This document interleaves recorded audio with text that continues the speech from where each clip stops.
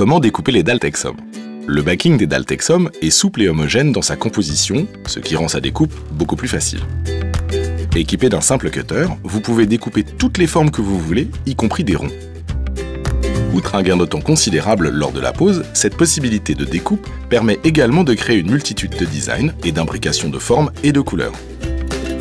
Les dalles Texom offrent ainsi à moindre coût d'innombrables possibilités en matière de design.